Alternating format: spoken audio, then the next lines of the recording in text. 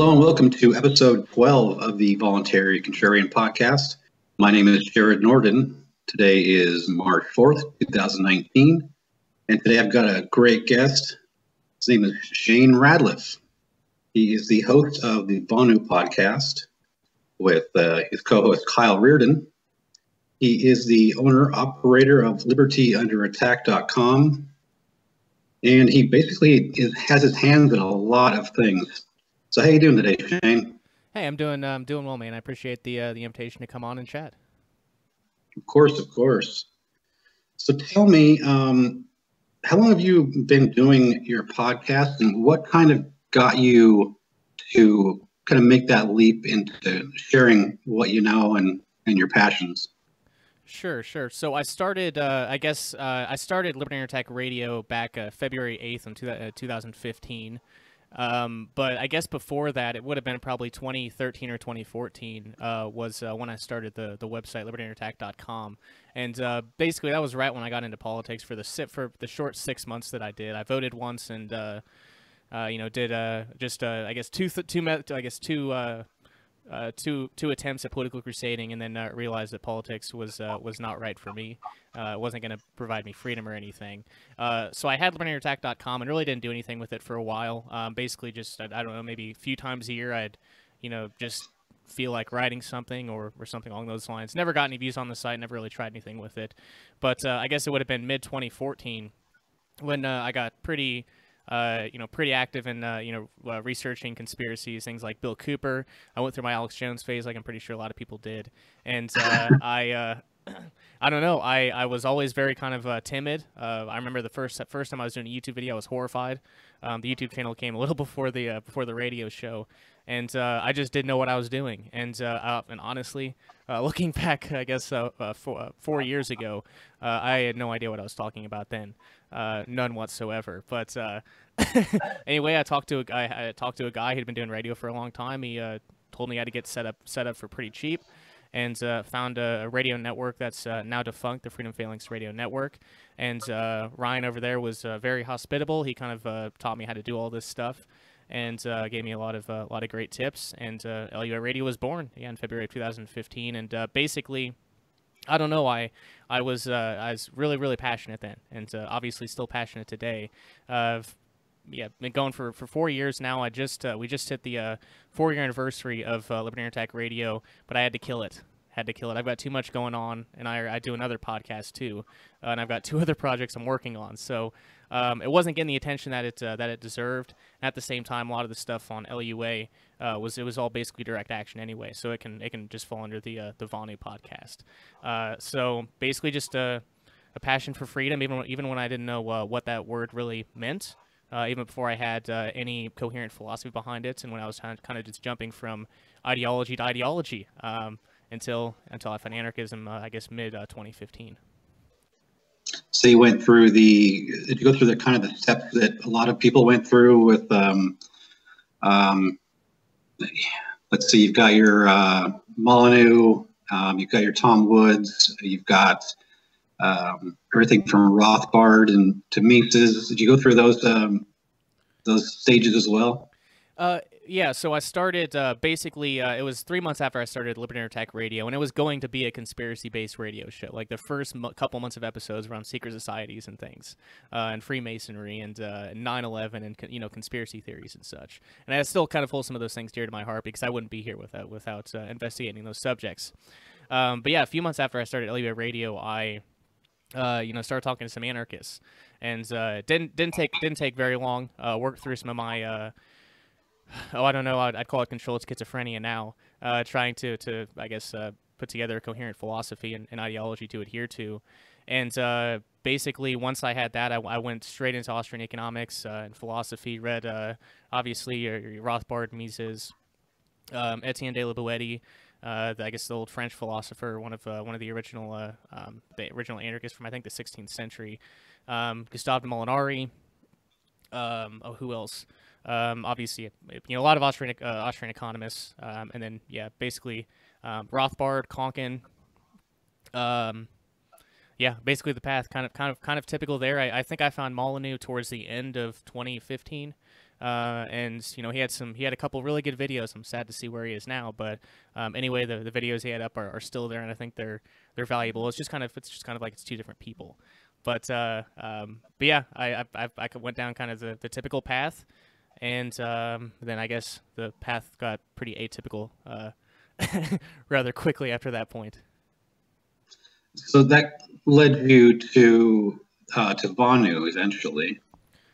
Correct. Yes. Yes. Um, and, mm-hmm. and how did that? How did that? Where did you first hear about this?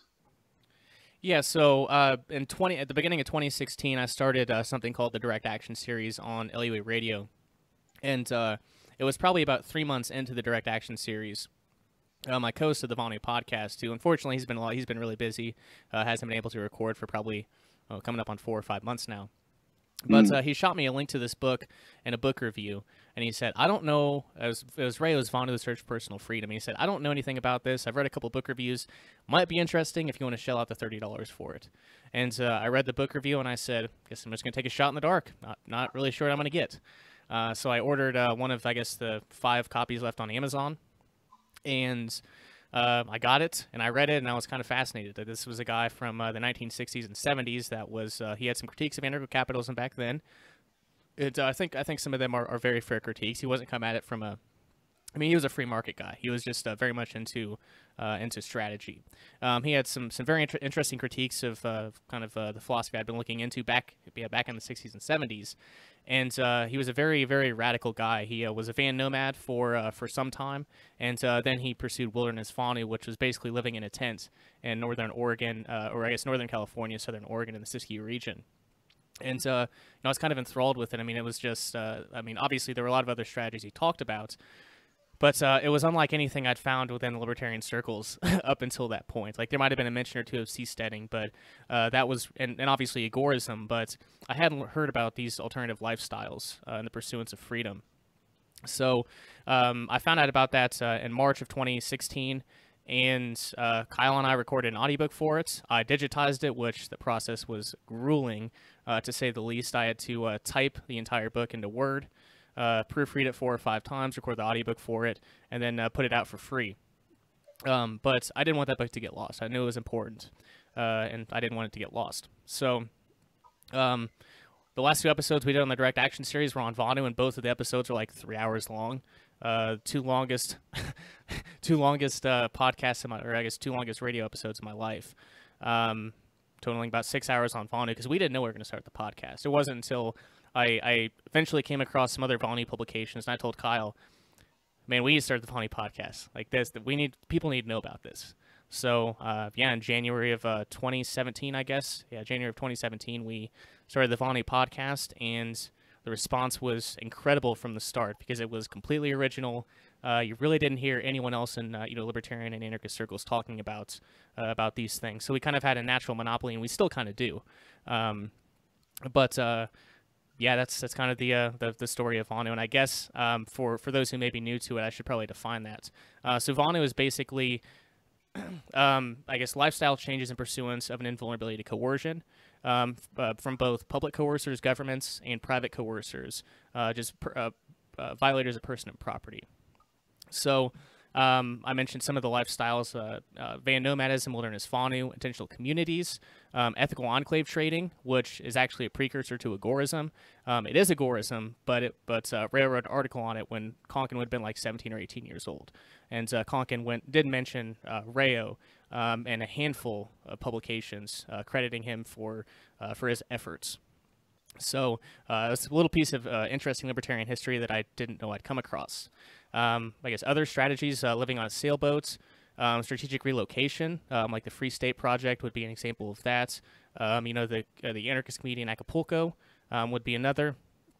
And uh, what other strategies are there? um, in cities, which is basically trying to be be as invulnerable to coercion as possible in the cities, which uh, we still haven't done a lot of uh, a lot of exploration on that. Uh, but anyway, I guess that'd be kind of how Vonu started, and also um, defining the terms for because I know a lot of people haven't heard of Vonu, so I figured that was important. Yeah, it's uh, very important stuff. So, would you say that Vonu is kind of the the answer to Um, it's a pragmatic answer to the problems everyone complains about in the anarchist community. You know, we all we all talk about the issues and problems with the state, and what you're saying is that this is potentially a an answer to that question. Um, I would say uh, uh, I'll start by saying yes, it's a very individualizable answer. Um, Vonu is, uh, you know, Ray has said this often. Vonu is yours for the making. This isn't uh, this isn't a strategy coming down from you know uh, from a great man or something telling you how to do it. Um, this is uh, Vonu is something that you have to develop for yourself because we all come from different financial situations, uh, family situations, um, all of those things. So my pursuit of Vonu is going to be different than yours. I, I yeah, uh, different than yours. Um, my pursuit of Vonu is going to be different than Kyle's down there in Austin, Texas. Um, so Vonu is very much a, a, very much an individual thing.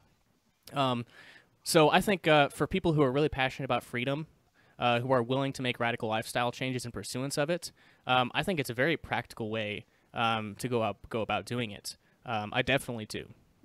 Um, but uh, I, I don't know for, for, for some folks. I mean, there are a lot of uh, political crusaders out there who, um, you know, they, they just kind of want to do the politics thing.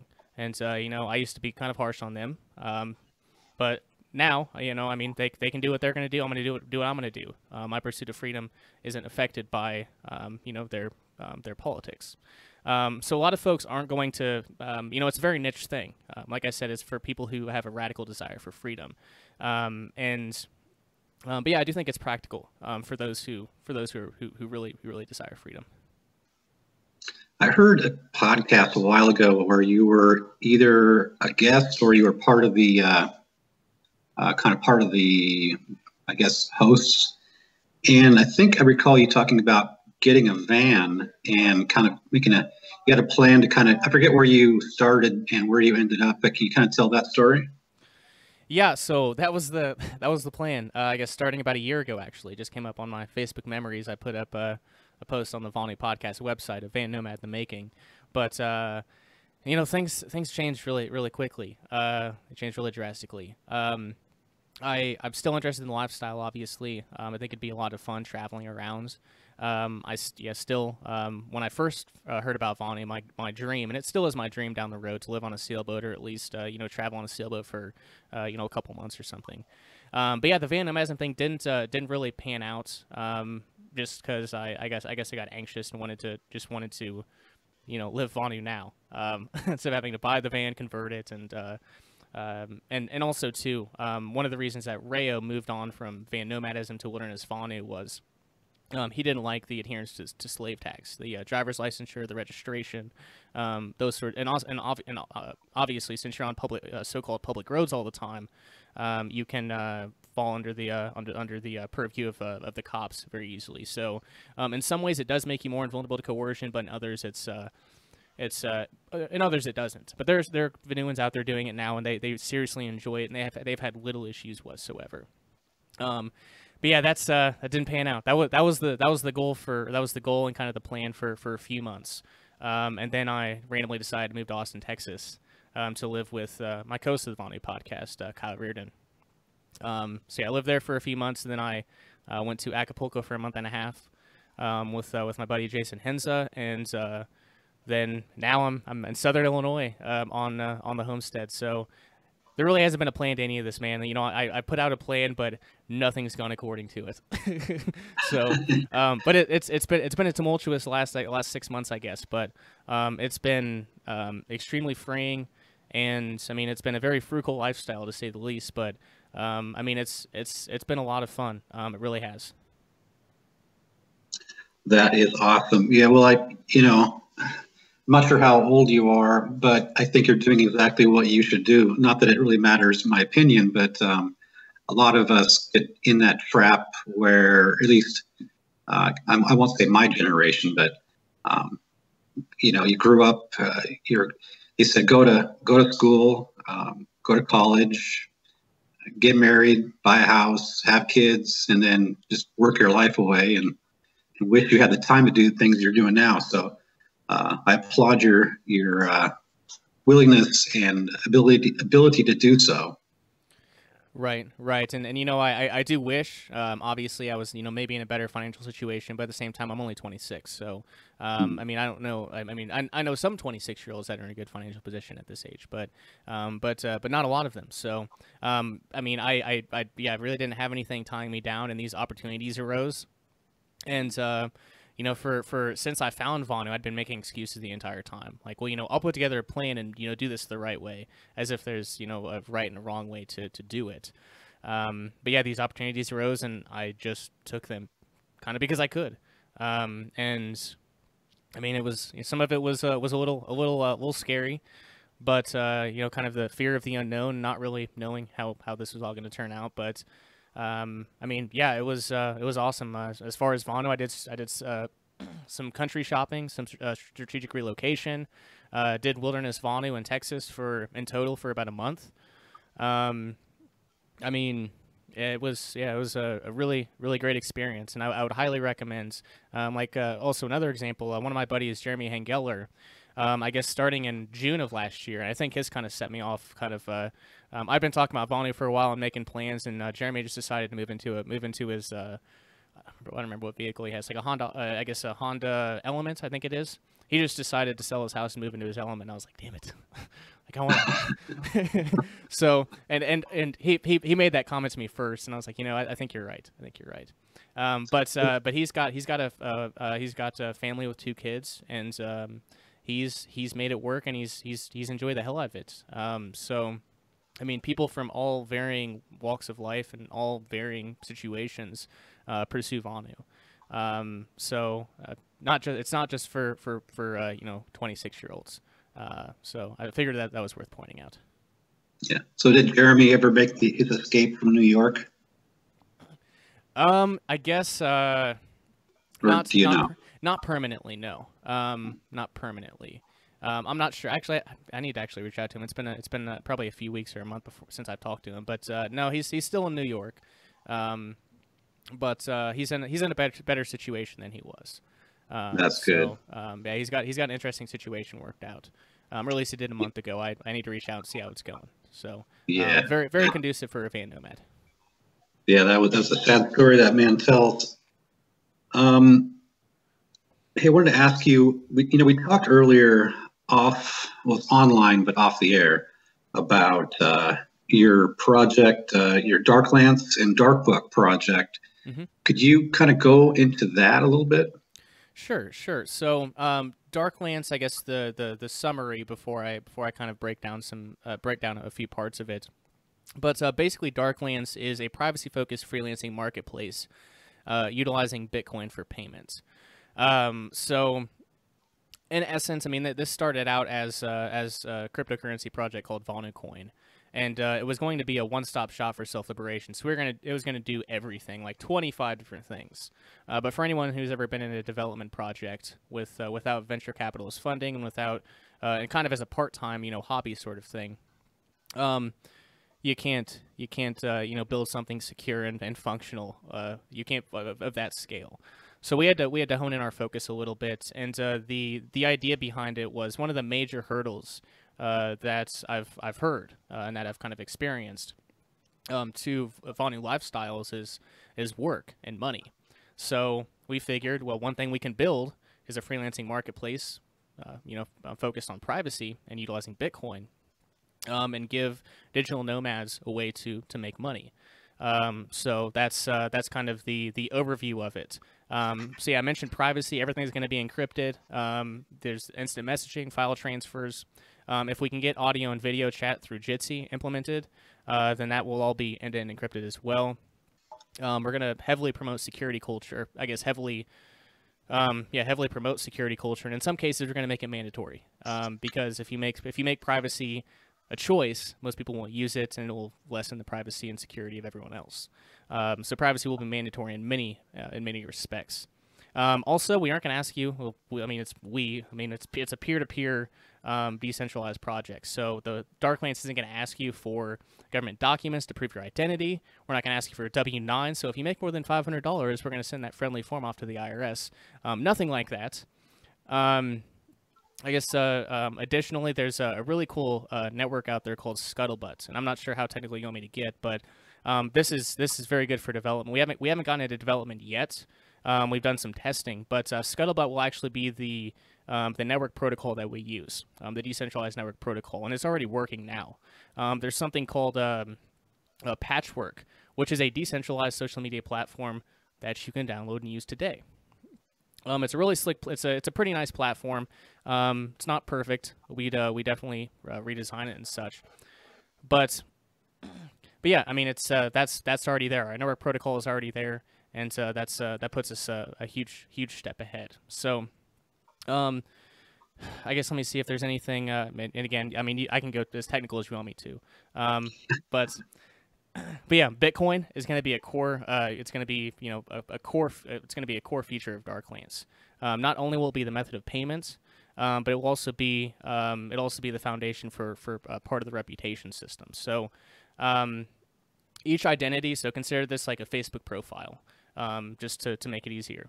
Um, so a Scuttlebutt identity or a Facebook profile, Scuttlebutt profile, would be a Scuttlebutt key and a Bitcoin public key. So, um, so all of your jobs and such would be would be would be um, verifiable on the blockchain to prevent spam and um, to uh, strengthen the reputation system. Um, so Bitcoin is a huge part of this. We couldn't we I mean, yeah, we really couldn't do without Bitcoin. Um, really couldn't. So um, that's kind of the I guess the the brief overview and some of the some of the key points. but I mean, we uh, I just released the white paper a month ago. Uh, so if your uh, if your listeners want to go uh, and read uh, through all the grueling details, um, if they're into technical white papers, uh, they can go to tinyurl.com forward slash darklance white paper. But it's it's just a it's a project I'm, I'm really passionate about, and um, my focus really for the last year has been trying to build tools um, so that people can live on it. Um, and that's uh, and Darklance is just um, I guess the op- another another offspring of that. Okay, so so you said earlier, Scuttlebutt is kind of like uh, like Facebook, then. Um. So so patchwork. I mean, yeah. So so patchwork is like uh, it's it's like a social media platform, but all Scuttlebutt is is is, is a network protocol. So it's just how um each it's how users connect to each other. Um, is all Scuttlebutt is. Um, but it's it's very it's a very very secure and um, it's a very secure and functional um, network right now. Um, so I guess um, to think of it this way, and this may not be the, the perfect the perfect analogy, but so Facebook would be the social media platform, and say like the internet would be um, the net the way people connect um, on Facebook. So it'd be the network protocol. Okay, and I like the fact that you have that kind of a almost like a meritocracy as far as um, people's rating. I mean, what what kind of what kind of things do you think will go into that? Uh, you know, being uh, just their work itself, or um, how quick they are, or all kinds of different uh, um, factors will go into that rating. Um, so, so for uh, I think you're referring to the reputation system. Yes. And um, yeah, so so ratings and reviews. I mean, that's a that's a tried and true uh, thing. You know, Etsy, eBay, Amazon, all of these places use it, and it's it's very very reliable. Um, if uh, someone has 500 five star reviews on eBay, you can be pretty sure that you're not going to get ripped off. Um, they really want their five star their their, their five star reviews. Um, so that will obviously be um, that will obviously be uh, that'll obviously be a way for reputation in Darklance. But we're going a couple a couple steps further. I mentioned uh, Bitcoin will also be uh, I guess the Bitcoin blockchain will be used for reputation. And uh, we're going a, a, yeah, a step further um, than that with something called the cir- uh, Circle of Trust. And the idea here is that well, actually define circle of trust. The idea is that you have like a first and a second layer. Um, the first being the closest. So your first layer, uh, your first uh, layer, your inner inner layer of trust would be um, your closest friends and your closest family, uh, family members, people you can trust 100% and uh, not have any worry about uh, the risk of uh, coercion or fraud or anything of that nature. Now, obviously, since this is a an open source project, you know, on the internet, then um, that's not always going to be possible. So um, the second layer of uh, second layer of trust would be like friends of friends. So the the, the I guess the example I used uh, that I use now, I wouldn't recommend anyone do this because people have gotten locked up for money transmitter violations. But um, I uh, so say John goes on Facebook and uh, he's trying to buy Bitcoin, and uh, uh, Jane is his Jane is his best friend. You know they've known each other for 20 years. Um, they trust each other pretty well. well let's say Jane's friend. Steve comes on there and he says, "Well, I've got some Bitcoin. I'm more than happy to sell it to you." Well, John doesn't know Steve, but um, but Jane knows Steve very very well. Um, so John doesn't necessarily have to know um, that person directly um, in order to you know have trust that that transaction is going to be uh, successful and that uh, there's not going to be any any fraud. Um, so the idea is you know utilizing friends of friends, um, utilizing uh, reputation, I guess uh, utilizing secondary reputation, at least in some sense. So um, I mean the anarchist community is great for this, right? Um, in many many regards. So. so yeah, that's kind of uh, the the, cir- the circle of trust thing. Um, is is very very I, I think um, very underutilized. Um, so we're, we're, that's uh, that's something we're going to use in uh, in Darklance, and beyond that, um, the Scuttlebutt Network protocol is by default set up for two hops. Um, so peers can only connect if they're within two hops of each other, and that would be the second layer of trust. And once you get outside of those second layers, you're out into kind of the unknown, and the risk of fraud and coercion increases drastically, um, or it may increase drastically, but there's just a higher risk of it. So um, yeah, we we want to we want to try to limit. I mean, Vonu is all about becoming as invulnerable to coercion as humanly possible. So obviously, we want to make sure that uh, the people who use Darklance uh, can um, evade that as much as as much as they can. Yeah, that is that is interesting stuff right there. It sounds like I mean, obviously, you put a ton of work into this. Um, I looked over your white paper, and you know, I read the words, but it kind of just you know, my jaw kind of went slack and drool came out of the corner of my mouth looking at it, trying to, you know, really make sense of it. It's, it's quite impressive, that's for sure. Thank um, you. I appreciate that. Yeah, no problem. So you have a couple books now, or you got how many books are you up to now? Uh, just the one, just the just one. The I'm working. One. I'm working on the second one now. Um, but that first one took in total like a year and a half to do, and I just, I guess, I guess I just released that. Um, maybe uh, towards the end of last year. So um, yeah, I'm working on the second one now, but uh, the the one that's out now is called Vonu: A Strategy for Self Liberation, and um, it's basically uh, I mentioned uh, Rayo's book that I found that kind of started this entire journey it was called uh, Vonu: A Search for Personal Freedom, and uh, the idea with this book was basically to cover the philosophy briefly and uh, cover the Konkin and uh, Rayo connection because I thought that was particularly interesting because Konkin's pretty popular in our circles. Um, and then I just kind of walked through uh, all uh, as many lifestyle changes as I could, uh, and uh, told people kind of how to how to how to go about how they could go about doing it. So um, yeah, that's available on Amazon and also at uh. But and this will be I guess a, a, scoop for for your audience. I haven't actually talked about it yet. Um, but the second book I'm working on is obviously um, we just talked about Darklance. Crypto anarchism is I guess I guess crypto anarchist is kind of like the primary label I go by now. So my next book is going to be uh, I guess maybe tentatively titled uh, uh, titled Crypto Anarch uh, Vonuan's Guide to Crypto Anarchism or something like that. So basically talking about how um, these various open source uh, technologies in Bitcoin uh, can help to make individuals more invulnerable to coercion. So um, that's uh, in the process, but I don't know how quick that'll how quick that'll come out. we'll see. Right. Uh, you're yeah, you're doing a lot of work, man. Um, talk about going mobile. Sure. So, uh, going mobile is uh, an audiobook available uh, under Liberty Under Attack Publications. I think the only one right now. Yeah, the only one right now. And uh, Going Mobile is basically uh, it's a, a Vonu and Van Life publication from like the 1960s and 70s. Uh, so Rayo has a couple a couple few articles in there, uh, kind of talking about uh, uh, uh, the van nomadism lifestyle. Um, there were some other articles and other articles and experiences from other van nomads back in that time. There were some very retro van conversion diagrams and things. Uh, they didn't have YouTube like we do today, so it was it was funny to to, to look back uh, at to compare like the YouTube video, like the YouTube van builds, which there there's so many of them. You could you could watch for months. You could watch van conversion videos for months months in a row and not run out of them. Um, but it was just it was, it was it was very cool to look back at like in the 1970s and watch how these how how these Vonuans were, I guess, trying to to design their vans for for living aboard. Um, so yeah, that's that's going mobile. It was just uh, I guess a van life uh, magazine from uh, the 60s and 70s.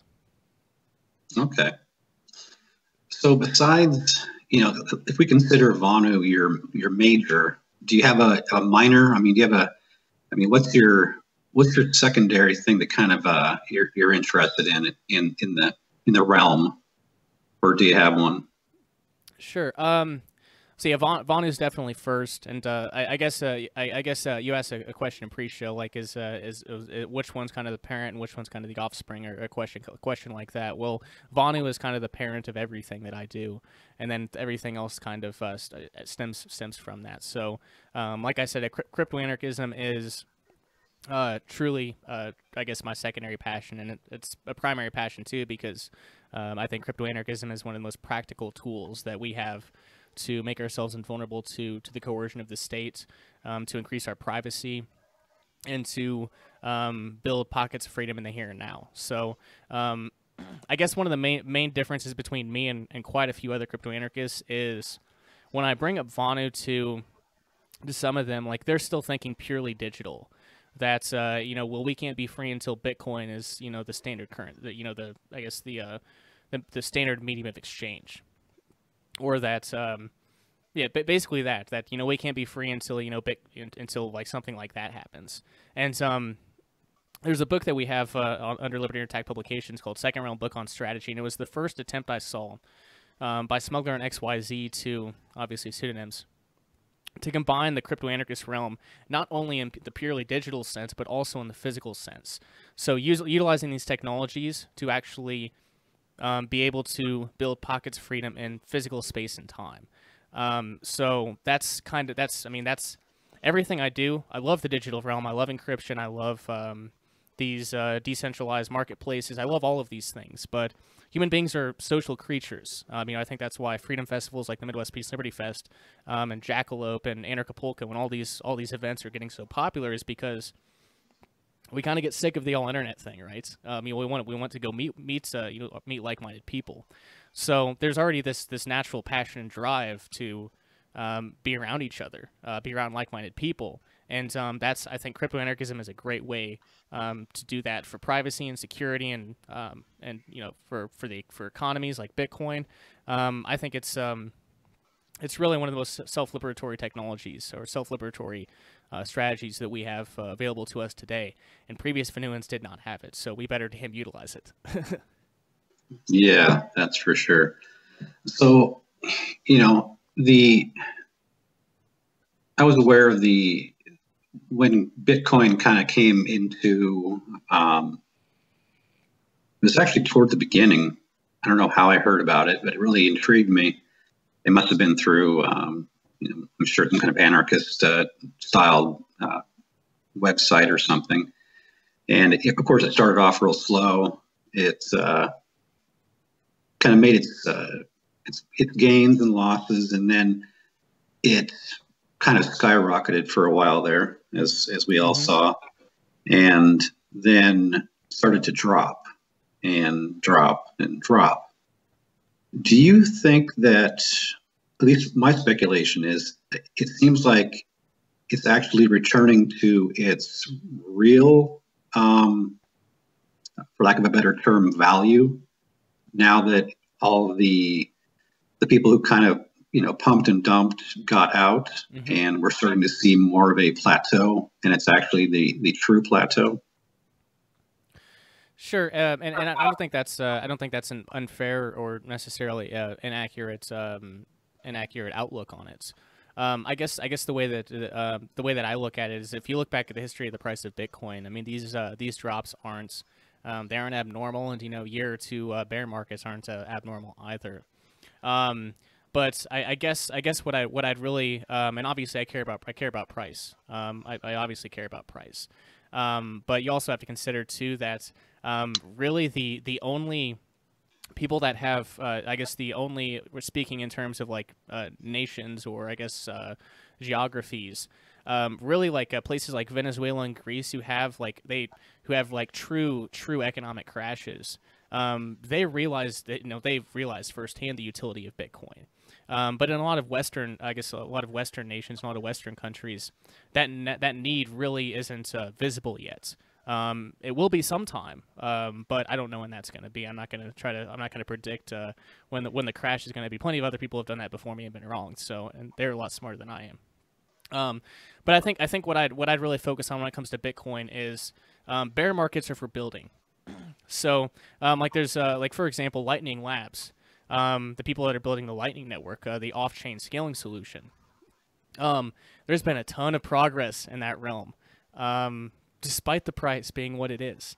Um, there's been a ton of work. Um, there's uh, you can go buy you can buy a, uh, Lightning node today and start accepting Lightning payments, um, or I guess you can open up a Lightning channel. So um, sure, like uh, obviously, you know, Bitcoin's still an experimental.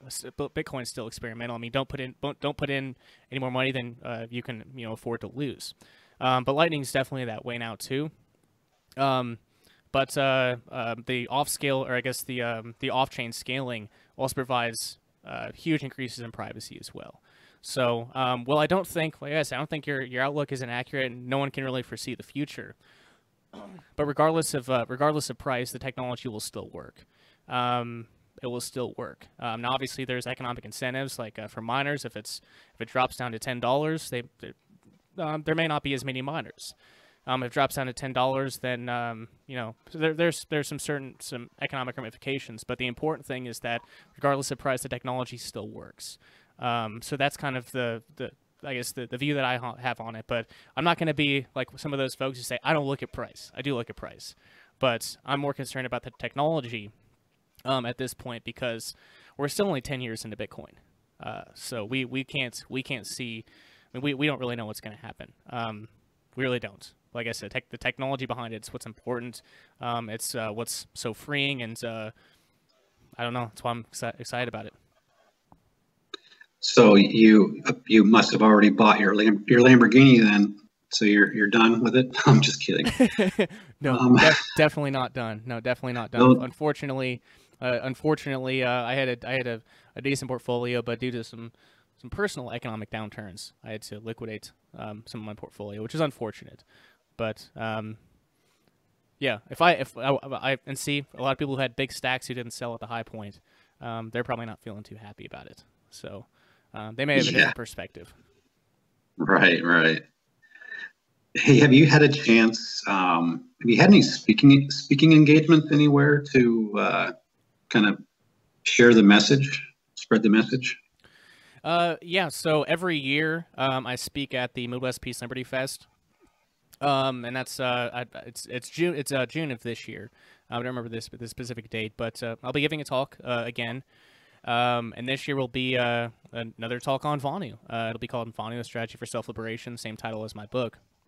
Um, last year I did the, I did a talk on second realm book on strategy. Um, that was that uh, book by Smuggler and XYZ about merging crypto anarchism, in the digital realm, with the physical realms.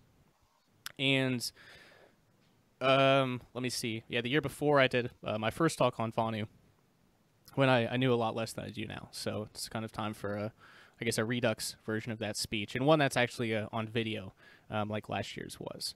Um, but outside of that, no, I was going to go to Anarchapulco this year and uh, Anarchaforco um, in Acapulco, um, but some, I guess, uh, situation here precluded me from doing so, and um, it's uh, it worked out okay. Uh, it worked out okay. Um, but yeah, nothing else to really speak of uh, as far as uh, speaking engagements. But uh, I always enjoy going to the MPL Fest and uh, it's always a great crowd and always very receptive to the uh, strange subjects I bring to the table. Are ones that no one else does. Now, where do they where do they hold the MPL? Um, yeah, so the uh, the Midwest Peace and Liberty Fest is in Delton, Michigan. Um, it's I guess it's kind of the southwestern part uh, of Michigan. Um, okay. So beautiful, beautiful location. Um, I mean, uh, you know, ever, I guess the past couple years, there's been, like, I guess, two years ago, maybe 100 people. Last year, maybe 150 people. I mean, it's still at the point now where it's uh, there's there's you you won't have time to talk to everybody or meet everybody, but um, it's still you know very very close knit. So it's still got that sort of atmosphere that I think probably PorcFest had, five or seven years ago or however many years ago. I don't know. I, I never went to PorcFest. Yeah, it always seems like those things happen either in the Midwest or the East or uh, down in Mexico. So uh, I would like to bring something like that up here to the Northwest. It seems like we're kind of lacking in that uh, the movement up here. Okay, so um, you're you're in the Northwest then. Okay, um, let me see. yeah, I don't know. I think the closest thing to you would be Jackalope, and that's uh, it's in the Southwest. so um, that's that'd probably be a pretty, uh, pretty, pretty big trek. Yeah. So yeah, it's un- it's unfortunate. But yeah, definitely get out to one when you when you when you get a chance. Um, there's there you know life changing experiences, and uh, talked about second realms. Freedom festivals are second realms. Um, you know, it's it's one of the few times a year uh, a lot of anarchists get to experience uh, you know the cult you know an anarchist culture. Um, so yeah, for you and, and your listeners, if you ever have a chance to get out to a freedom festival, I don't really care which one it is. Um, just get out there and uh, I mean, yeah, you'll you'll you'll undoubtedly have a great time. It sounds like I have to start my own then up here in uh, up here in Washington State. It's it's kind of an enclave up here anyway, so I should probably try to bring some more peace loving people out of the woodwork and, and see see what I get. Um, oh, yeah. So you you you mentioned a few times uh, second realm. Can you kind of give a? You probably already have gone over it, but can you kind of give a brief uh, kind of a summary of that? Mm-hmm. Sure, sure. Um, so the first realm, um, if you're talking about the second realm, we got to talk about the first realm. So the first realm is um, basically just the the status the, the status world that we live in. It's uh, all of the coercion, the violence, the lack of freedom, the lack of privacy, the lack of financial opportunity, um, the lack of financial choices. you know th- those sorts of things. It's uh, it's what it's what anarchists are very familiar very familiar with. It's what uh, you know we, we kind of rant and rave against and try to try to make ourselves free from free from. Um, so that's the first realm. Um, the second realm is basically, uh, um, if your listeners are familiar with uh, Hakim Bey's notion of temporary autonomous zones, um, it's basically pockets of freedom. Um, it's basically pockets of freedom where we can be free um, and you know do we, do what we want to. So another way to put it is um, not building the new society within the shell of the old, but building the new society outside of it and despite it, uh, despite its existence. So the ideas and uh, so some examples here that I that I could uh, that I could um, put out there uh, for if, if you or any of your listeners have uh, uh, read or watched uh, J. Neil Schulman's Alongside Night, um, Aurora um, would be an example of a second realm. Um, there's a book that we have available under Liber- Libertarian Attack Publications called Hashtag Agora. Um, there are second realms all through that book. Um, let me see here. basically, uh, temporary, uh, I guess a, a, van nomad squat spot would be would be a second realm. Um, it's a place, uh, you know, it's uh, mobile in nature. Um, the coercers, if you, the coercers can't find you, the coercers can't coerce you. Um, so a van nomad squat spot would be a second realm. Um, freedom festivals would be second realms.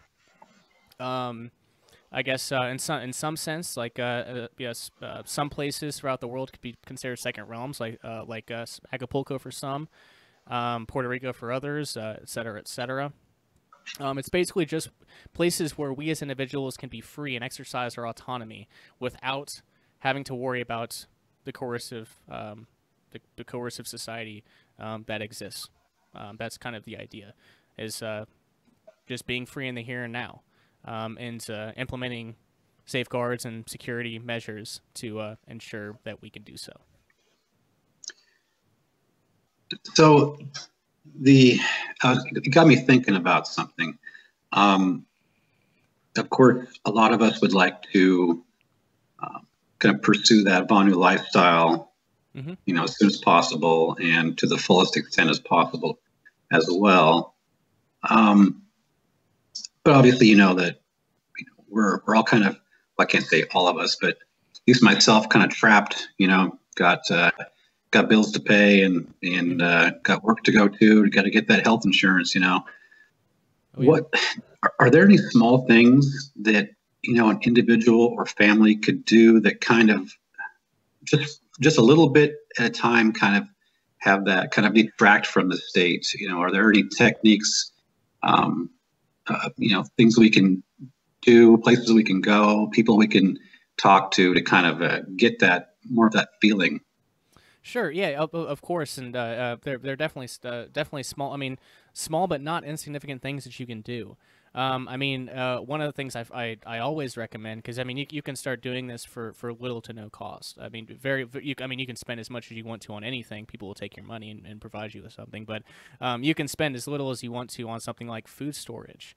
Um, so for the for, for the time when uh, Um, you know, for the time when uh, you know maybe someone loses their job, uh, maybe someone in your family loses their job, and uh, you know don't have a whole lot of money for food. Well, if you have a bunch of uh, food storage reserves, then that comes in handy at that point. Um, if there's something like uh, economic collapse or um, you know some you know something worse than that or something some other uh, catastrophe um, well making yourselves uh, you know making you know, getting as self-sufficient as you possibly can so you aren't reliant upon um, those institutions of the first realm like uh, like uh, grocery stores and uh, um, uh, you know like the welfare state and things like that um, that's a terrific thing basically ensuring that you can survive um, ensure you can survive if those things cease to exist tomorrow um, that's a, a, major, major first step, and um, I think it's uh, for a lot of folks, it's it's the first of many. That would yeah, that'd be the, uh, the, the first thing. Um, beyond that, I mean, just uh, I, would say try to uh, uh, uh, uh strategic, uh, strategic. I can't ever say this word. Strategically withdraw from the state in every way possible that you can. Um, so I've for years I've recommended people cancel their voter registration. It's a very small thing, but it feels very good to do. Um, and you can go to tinyurl.com forward slash cancel voter um, if you want to find out how to do it in your state. Um, that's a very good, very you know, very freeing first, very freeing first step. Once you cancel your voter registration, you can't legally vote. Not saying that uh, you couldn't find a way to if you wanted to, but um, but but still, I think that's uh, that's another good thing you can do. Um, use uh, Bitcoin and barter um, as, as much as you can, um, not using uh, government fiat. Um, oh, what else? I mean, start your own garden. I mean, you can do this in uh, in um, and, and uh, up there in the northwest. I'm sure uh, may, maybe you live in a in a rural area. You know, just uh, you know, grow your own food. Um, I lived in a city and had a garden for, for a few years. Uh, very, it was a it was a rather small garden, but I had to give food away. Um, it was producing so much. Um, so yeah, produce as, uh, produce as much as you can yourself, and uh, become as self sufficient as possible.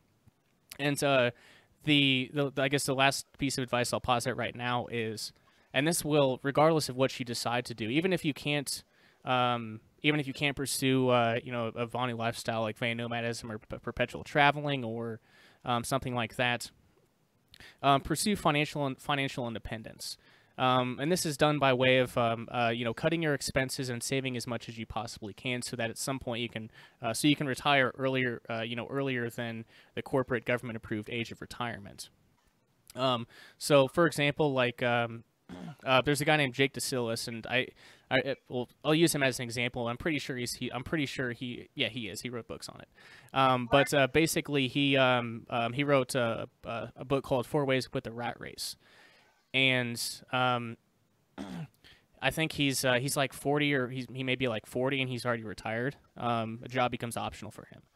Um, so the idea is to cut your expenses, save as much as you can, um, so that she can retire as early as possible. Um, and then uh, also um, along that along that same line of thought, frugality. Um, that that goes right along with cutting expenses, and um, but also too, um, if there's any possible way, I mean, there's you know online, you know the uh, the internet provides a lot of opportunity um, directly in school too, hopefully in the near future. Um, but uh, uh, making your making your employment location independent. So if uh, uh, another term for it is digital nomadism, um, where you can work from anywhere, um, even if you don't do it, even if you work from home. the amount of freedom I, I worked from home for a few months in Austin and uh, wasn't making a lot of money. But I'll tell you what, being able to wake up 15 minutes before I was supposed to start work, and um, not having to have like a two-hour commute every day, um, and being able to actually have my hour breaks, um, or I guess being able to have like the entirety of my, my full hour breaks and making my lunch and going back and sit sit down watching YouTube videos on van nomadism. I mean, it's even if you don't do anything beyond that, just the amount of freedom something uh, like just financial independence or location independent uh, location independent employment can do for you, um, it's really really crazy. So uh, crazy in a good way. So I guess that would be um, a long-winded way to uh, to toss out those I guess little nuggets of advice. It sounds a lot like you know preparedness and uh, homesteading um, mm-hmm. type techniques that you're talking about. Oh yeah, yeah, and I mean. Um, and I mean, yeah, it's uh, it's it's hard work, and it's it's um, it's it's sometimes it can be hard work and a lot of work, but yeah, um, it's basically uh, returning to the land, and it's going back to uh, I guess the early 20th century because that's they didn't have a choice. They had to produce for themselves. Um, so yeah, it's it's kind of uh, going back in time, at least a, to a certain extent, or going back to uh, uh, going back to our, our true roots without, um, I guess, uh, mass urbanization. So yeah, exactly, um, exactly right. Yeah, I read a lot of uh, kind of articles on different uh, kind of preparedness websites, and people are always talking about in the U.S. You know, where where is the best place to live, and uh, and as far as uh, whether it's there's an ec- economic meltdown or whether there's uh, you know food riots or whatever or mm-hmm. natural disasters. Um, have you? I'm sure you probably have kind of looked around in the U.S. and kind of you know, is there a top three places or at least areas of the of the uh, the the nation that you'd kind of put your you know hang your hat? Yeah, that's that's a good question, and the place I ended up is uh, is an interesting one because it's not one that would be it, wasn't I guess it, it, wouldn't be the one at the top of really anybody's list, but um, yeah, I live in I, I, live in Southern Illinois now, and uh, obviously Chicago is terrible. Um, you know they love passing uh, you know very restrictive gun laws and uh, you know that's it's I think it's it's number one or two. Uh, it's number number one or two states uh, state in the U.S. for people like so it's a mass, it's a mass exodus. So um, uh, basically, I and I'll, I'll I'll answer it this way first, and then I'll kind of give uh, give more thought to it. But uh, uh, for me, I mean, uh, this my family is my family, and the friends I have are close to here. Um, I've been coming here for 25 years of my life. I'm very comfortable here. It's very peaceful. Um, I haven't seen cops come ever come here in 25 years. Um, never seen a cop. Um, I just I feel very I feel very very safe here, and um, I guess I've got it set up in such a way. Um, I guess uh, in second realm terms to be called a proxy merchant, like uh, and Rayo Rayo also talked about this too, but um, having uh, your name on property can increase your risk of coercion. So I've got uh, an interesting situation set up here. Um, obviously uh, with family, um, but um, it, it, it helps. Um, it helps with uh, I guess with with, uh, with. So um, I think the, the, the first answer to that would be um, if there's some place like uh, like this some uh, some place for any of you or your listeners that uh, something like I have. it may not be the most ideal place, but it may be the place where um, you may be most happy and most peaceful, and uh, also um, make yourself as invulnerable to coercion as you possibly can. Um, now, to answer your question more specifically, um, I've always been I've always been uh, interested in the Pacific Northwest actually, because uh, that's where Rayo spent a large part of his time. A large part of his time. Um, he also spent time in Bella Coola, British Columbia. So I mean, very wilderness locations. Uh, you're really roughing it. Um, but um, and a lot of people don't want don't want to uh, to live such a lifestyle. But um, if uh, you kind of more uh, kind of like uh, your isolation and your kind of uh, you know kind of peacefulness like that, um, those would be options, I suppose. I don't have I don't know anything beyond uh, anything about Bella Coola, British Columbia beyond that it looks beautiful and there's no roads. so um, you know take that take that for what it's worth. Um, I don't know. Like I, I went to Austin, Texas for, for a few years. Maybe Austin is not the best place, um, considering it's it's it's it's a conundrum. It really is. It's it's a very socialist place, but there's lots of guns. They don't try to take them, so it's very strange. Uh, it's very strange, an anomaly. Uh, it's not like that in most places, but um, I, I don't know, like somewhere in Texas. I, I mean, I, I don't really like just uh, make sure it's an unincorporated area so that you can actually do the off-grid homesteading thing. They don't try to uh, um, hammer you with ordinance violations. Um, that would be the most important piece of advice. Make sure it's unincorporated because if you try to do off-grid stuff like collect rainwater or uh, not have uh, you know a proper septic tank or um, you know um, try to get off city water or something like that, uh, you know you could you could run into some problems. So I like Texas because it's a very open gun culture. I mean, open carry is legal there without a permit, and you don't have to have a permit to buy any firearms. So um, as far as self-defense, um, there's really uh, no better no better place. Um, so I mean, those would be I I haven't done a whole lot of a lot of investigation into uh, into other locations because I, I really hadn't off grid you know the off grid homesteading thing wasn't going to be something I I, I was going to do immediately. But um, here I am again. My my planning my planning is uh, not very good, but worked out for the best, I think.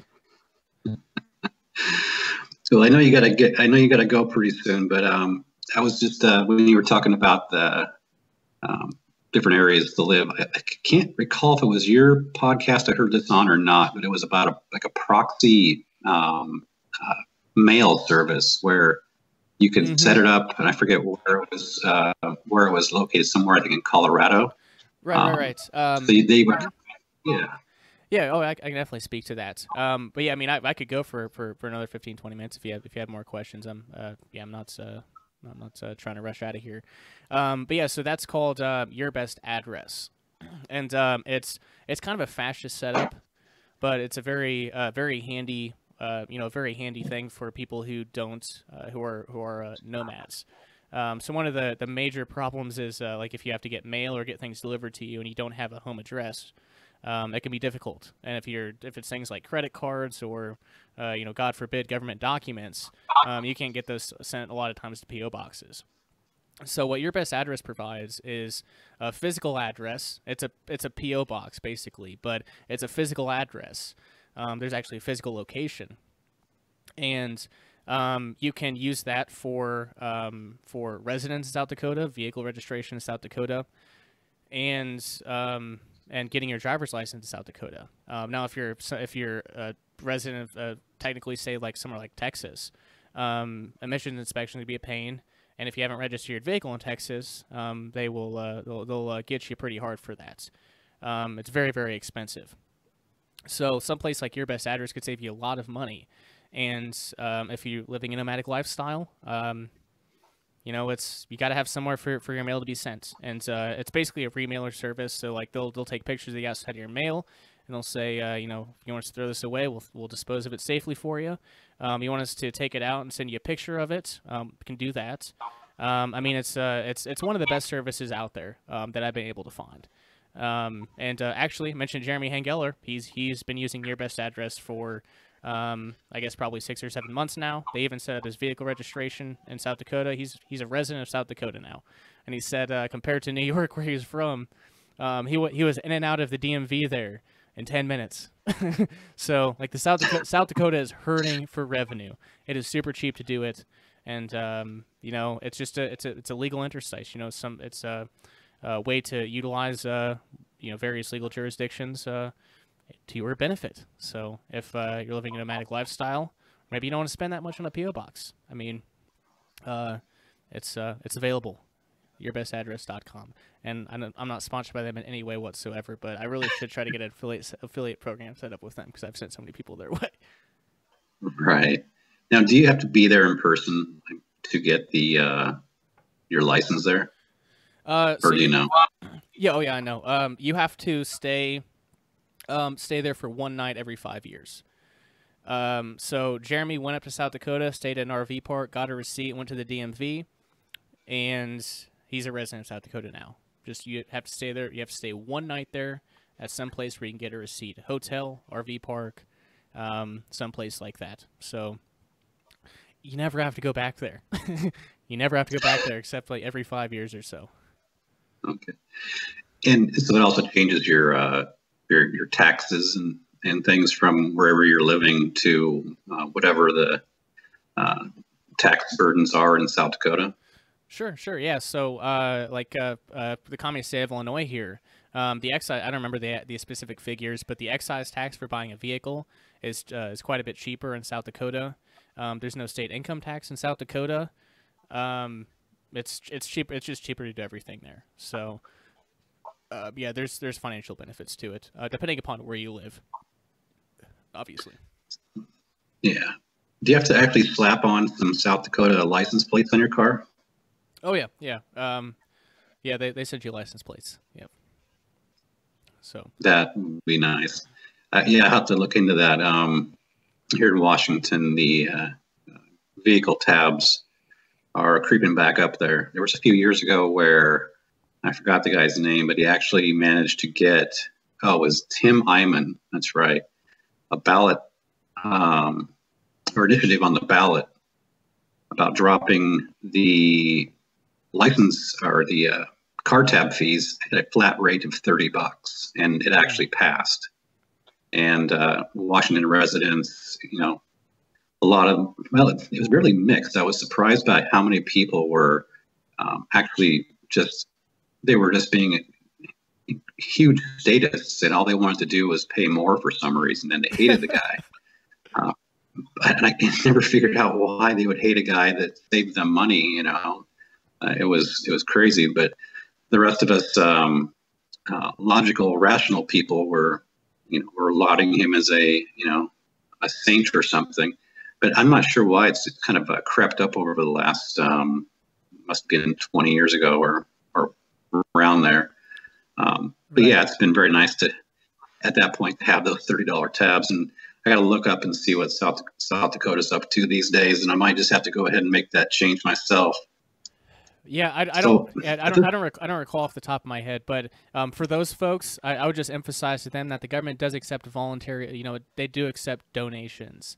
Um, for those folks, it, believe it or not, um, one one of the, it's not one of the main funders of like the police force, but there's a there's a quite substantial portion of police funding that's voluntary donations. So if, if they if they want to pay more, they can. Uh, the government's not going to stop them. Right. Yeah, that's actually a good uh, public service announcement for any statists out there. If you if you feel bad about um, you know not paying your fair share, there's probably a tip jar available online that you can uh, just kind of look it up and and send your, your hard-earned money in there voluntarily. Um, so hey, man, um, is there anything you'd like to uh, to go over or uh, talk about since um, kind of let you have the floor for a minute or so. Sure, sure. So, um, I I guess I'd like to talk uh, just for a moment about Liberty Under Attack Publications. Now, I mentioned that uh, we've got books for sale, um, and obviously they're they're all geared towards solutions. Um, so, if you're an individual looking to increase your personal freedom in a wide variety of ways, um, there's uh, there's a book there for you. Um, but also too, uh, um, one of the uh, something that I'm really really excited about is uh, I guess some, it's a, a, feature on the website called Publish with Us. And uh, so we're seeking out individuals who are looking uh, looking for publishers. So um, if you want your if you just want your book published and promoted by us, um, more than more than happy to do it. Um, definitely more than happy to do it. Um, but we can also help new authors navigate uh, uh, the, the, the seemingly complicated uh, publishing process. So if you if you uh, finish your first manuscript and you want some people to take a look at it, be more than happy to and help you get it closer to to publishing ready. so yeah, proofreading and editing. Um, we offer paperback and Kindle formatting and uh, also uh, yeah, paperback and Kindle formatting so that whenever you uh, submit it to Amazon, uh, and people order copies. It looks great, exactly as you uh, as you wanted it to. And uh, lastly, uh, and this is something I've been slacking on, um, but it's the thing that takes the most time. Um, but if you're if you're going to be publishing a book, you've got to have an audiobook.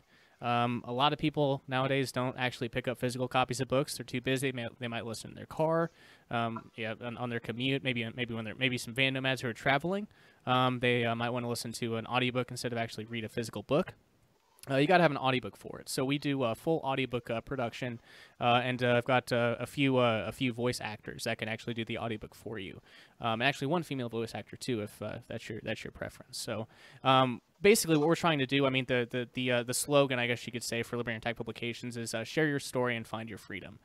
So if you've got if you've been you know I guess people have got some interesting stories, uh, some interesting ways to find freedom, and uh, we we want to we want to help you get uh, get your message out there, and uh, we want to make it as easy as possible. Um, and better yet, we don't believe in intellectual property, so if you when you sign with another publishing company, they're probably going to want you to sign away like 20% commission or something like that, um, and you know some, maybe sign over the rights to your book or whatever, um, whatever it may be. We don't believe in intellectual property. We just want to help you get your message out there, and uh, more than happy to help you in whatever way we can. So uh, if you're interested in that, interested in that, um, go to libertyunderattack.com forward slash publish, or if uh, you know you're just looking for um, looking to support a digital digital agorist or digital ethical enclave trader, um, libertyunderattack.com um, is there too with uh, with some very very valuable books.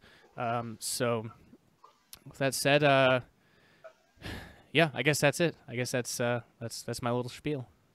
It's your little spiel, okay? Yeah, that's a great resource. I've I've actually been considering trying to, uh, you know, I think like most anarchists and voluntarists, there we have a lot of uh, a lot of ideas and thoughts and rolling around in our minds, and uh, some some folks will choose to podcast, and some some guys will do video, and um, then others will you know write for blog sites. But uh, I think there's something valuable about actually putting out a book um, to kind of kind of just get all those thoughts out and kind of a, a stream of consciousness, you know, and and uh, it's like I was talking to somebody the other day, and uh, it seems like we were talking about earlier with along the way, it's picking up a little bit of information or knowledge from um, you know a myriad of different people, whether they're on YouTube or whether they're uh, uh, a book you pick up or um, you know a blog article you read. Each little each little piece kind of helps build that, uh, as I called it, a mosaic. Right. And um, and I think the more voices and the more perspectives out there, uh, and also not not every speaker or or you know, media type is is apt for everybody, and everybody right. kind of needs their they they'll like you know say some folks will uh, they'll watch Larken Rose videos and they're they get a lot of their influence from him, and and some folks think he's just way too abrasive. So um, I think it, take, it takes a village, man. It takes a village. yeah, and, and you know, I, I'm I'm right there with you. Uh, I'm certainly right there with you um, because uh, this this path to uh, to personal freedom, this path to, um, I guess, just um, this this path towards learning is different for everybody. Um, so. I, I, I, always encourage uh, uh, something I encourage for the Vonu podcast. There's something called self-liberational media, and uh, basically, it's just uh, all of the Van Nomad videos on YouTube to be considered this, the minimal sibling videos to be considered this, uh, the Vonu podcast to be considered this. And uh, I mean, we're doing a, a nice piece of self liberational media right now. Um, I encourage everyone, um, you know, if, if you're pursuing some lifestyle, even if it turns out to be a drastic failure, document it. Um, in some way, whether it's a blog post, if you write a book about it, and you get to the end of the book and you find out, eh, this was a fail um, well, you might help uh, save someone from that from that same mistake. Um, if you uh, you know, or, or you may you may come out with like the most amazing journey, um, the the most uh, the, the most amazing journey, and uh, that's that's certainly worth sharing too. Um, so yeah, I think everyone should, uh, in whatever medium they prefer and whatever medium they're comfortable with, um, and whether uh, pseudonymously, anonymously, or you know with a you know via a given name uh, I think uh, it's it's crucially crucially important because we, we can talk all day and every day about how great anarchism is, how great the philosophy is, um, how great the ethics are, and all of that. But people really, at least this has been my experience. Um, it's kind of the lead by example thing, right? Although we don't like the whole leaders thing, um, but it's it's kind of the the, the action over uh, the action over talk um, that seems to be more convincing than, than just the talking. So um, that's that's kind of something that I that I that I really push out there and I encourage um, is show people show people what you're doing for to, to find freedom. Uh, I think it's really really crucially important, especially if uh, um, I hope someday to see a free society in my lifetime. I really hope so, um, but it's it's going to take some some hard work, you know, some hardworking, dedicated freedom pioneers um, if that's going to happen. So at least that's my, my own personal take on it. Yeah, I, I really hope, uh, at least I hope you see it in your lifetime. I'm probably a little bit too late for me. but uh, I, I had a thought. Um, it'd be kind of simple to do. Um, you know, there's so many aspects, like you were going over earlier, about um, uh, seasteading and uh, and you know mobile living and, and different avenues like that. If one were to kind of create a either a website or a YouTube uh, channel where they kind of collate these videos, you know, really well made and uh, informational videos that were taken from, you know, say I've, I've seen several people with kind of van life type um, uh, videos. They're not directed towards Vonu or, or voluntarism or anarchism, mm-hmm. but they have a great, you know, it's like a it's like a place a person can go to get, be exposed to all these different things. Um, with a lot of instruction and a lot of uh, inspiration as well, without having to kind of search the entire, uh, um, I guess YouTube universe. You know, kind of collate the the top ones or the best ones. I'm, I'm kind of just talking out my my ass here now, but to me, it sounded like a good idea when I was thinking about it. no, I, I, I like it, man. Yeah, I, I definitely do. And uh, and and on that note, uh, on that note too, um, yeah, like a, a, lot of these folks, uh, whether they're the the van nomads or the minimal sailboaters or um, these people who just travel all the time. Um, I mean, uh, they may have different motivations for pursuing such uh, pursuing such lifestyles, but they are very close to to, to Vonuism. Um, they are very very close to anarchism. Um, I, I, really like they they've already broken free from, um, um, as Rayo would put it, the servile society, and they're now. Um, they've they've got these lifestyles where they have time, a lot of time to read, a lot of time to think. They've they've got a lot more time than they ever had in their life. Uh, so uh, that's that's one thing I was really looking forward to as a van nomad is going to like uh, the Rubber Tramp Rendezvous, which would be another second realm, by the way. It's in uh, um, Quartzsite, Arizona. There's I think there's like 4,000 van nomads there every year. Um, it's a huge Van Nomad meetup. Um, I mean, it would. It, I I really think you know you have. I, am pretty sure I could I could run through there and uh, you know just have have have you know a couple have some hour conversations with people and they'd be on board. Um, just they just hadn't heard of Vonu before. They might have not have heard of anarchism, but they're already they're already living it, right? So, um, yeah, right there with you. Yeah. Well, I guess we'll have to see um, you know how how uh, things progress here. Uh, it, it, at least to me, I was having a thought the other day about how kind of how dire everything was kind of looking, and um, the I guess the voluntarist uh, message just kind of seemed to be, uh, as I called it, a circle jerk, and um, mm-hmm. didn't really seem like much was really happening. But then I got to tell myself that you know, there are more and more um, blogs being written. There's more and more podcasts being put out. And I mean, in fact, you know, I decided only what a month ago to start doing this. So mm-hmm. uh, it, I guess it's kind of a, a, testament that you know everyone's work is not going. You know, it's not uh, it's not a waste of time. It's actually very valuable. Um, oh, so yeah. It, it, it definitely is. It definitely is. And um, starting a pod, like whatever form of media it is, um, once uh, is uh, a lot of I mean a lot of people's interactions with with anarchism or Vonu or whatever well, not even really Vonu but we'll just say anarchism um, you know just go like memes and statuses on Facebook. Um, but I, I, really think the the journey the journey truly begins. Um, at least at least in my, my experience is when you when you start a podcast a radio show a, um, a blog uh, something like that and you really start to try to um, not just i mean because you might not have had a reason to do it before but when you do a podcast you're trying to get across your ideas. And in the process of doing that you kind of weed out the bad ones you you find the really good ones and you you, you learn it's it's it's a, i think it's a crucial step um, in just personal development. So um, like i said don't you know guys for listeners don't wait. If you're thinking about doing something like that do, doing a podcast blog anything like that um, just do it. It's super cheap to do nowadays it, it definitely is. It doesn't cost very much at all. Um, barrier to entry is incredibly low. Um, yeah. Well, hey, man, I really appreciate you uh, being on. You've, uh, I mean, you've got a lot of information and you you cover a lot of information. I, I really appreciate it. So, uh, if you want to go ahead and tell our listeners how they can get a hold of you or see you or find your uh, resources, be great. Sure, sure. Well, yeah. Uh, first off, thank you so much for uh, for for inviting me on. Uh, really, really enjoyed the conversation. Um, but uh, but yeah, uh, I can be found. Uh, I'm still on Fascistbook and and Twitter. Um, LUA Truth on on Fascistbook, or you can just search for Liberty Attack Publications. and on Twitter, yeah, at LUA Radio.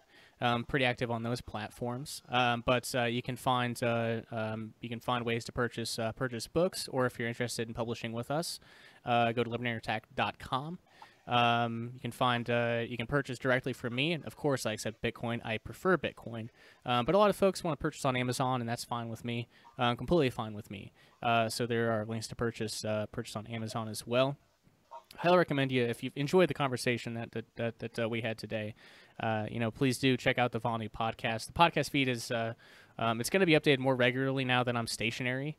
Uh, so uh, the yeah, podcast will be be updated, but uh, there's a, an exorbitant amount of resources um, there at uh, VonuPodcast.com. Um, and uh, yeah, we talked about Darklance. Darklance.net's the website. It's not completely finished yet, but uh, I would recommend if you're interested in that project at all. We are looking for uh, developers, programmers, marketers, community organizers, I guess, just anyone who's interested in helping this project come into fruition. Um, uh, you can find the white, white paper at tinyurl.com forward slash darklance white paper. So, um, yeah, I think that's uh, I think that's about it. And again, thank you so much for uh, for having me on. I, I, really enjoy the conversation. It's nice to put uh, put a voice to the uh, to, um, to the uh, I guess a voice to the Facebook messages. yeah, definitely, definitely. You know, I'll include all of your information um, in the podcast, and I'll also throw it up on um, my, uh, as you say, fascist book and hmm. the, uh, the website.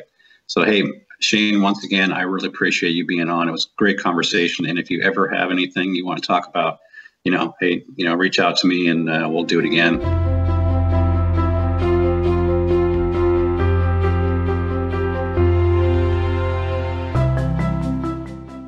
Is it possible to create pockets of freedom where personal autonomy is respected?